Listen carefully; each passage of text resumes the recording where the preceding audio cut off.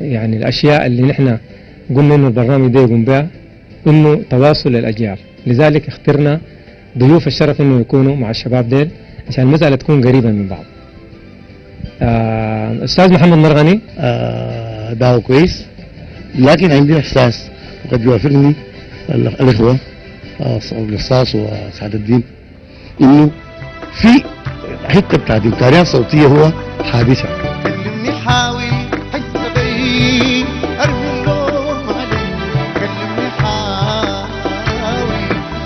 حتى اللوم علي كلمني والكاين كلمني يا حلو الحقيقة أول مرة يعني أجيف يعني من حسن الصدف أو حسن الظروف إني ما تفاجأت مفاجأة زي دي يعني. لأنه بعد ما اختارونا مذيعين قعدنا ستة شهور في الإذاعة إلى جانب مذيع كبير مقتدر. عشان نتعلم منه كيف نقول النداء الصغير المكون من كلمتين هنا أم درمان فدي الست شهور أكسبتنا ثبات عشان كده كنت جينا للعمل الأول الواحد كان عادي جدا. لكن إحنا حاسة دي مثلا زي مودة الدسوقي وديناه دقائق يعني. عشان كده. وبعد ذاك ممكن نقول عنها شنو؟ أيوه ممكن نقول عنها إنه طبعا ال- المذيع يعني أول ما يلفت نظر المستمع أو المشاهد في المذيع اللي هو الصوت. والصوت طبعا آه، ما له يد فيه المذيع ده شيء رباني يعني. نحن حقيقة في وزارة الشؤون الاجتماعية والثقافية آلينا على نفسنا دعم الإبداع والمبدعين.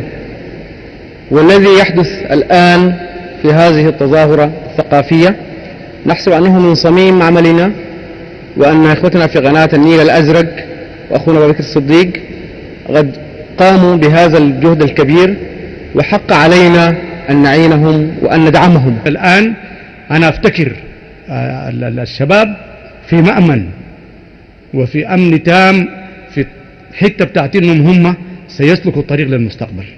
فكل واحد عنده موهبة يتأكد إنه هنالك اهتمام كامل به وبالآخرين.